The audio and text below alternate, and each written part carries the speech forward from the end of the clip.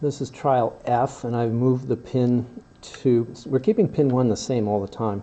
I've moved pin 2 back over here. There's also a, a hole I made that isn't a data point. It wasn't a very good hole. So I put this over between E and D, and then I put 3F over here, um, and 4F over here. And to check my work, let's put the table camera on and see if we can see. There are all the pins. There's pin 2, clear back there. But if we come over here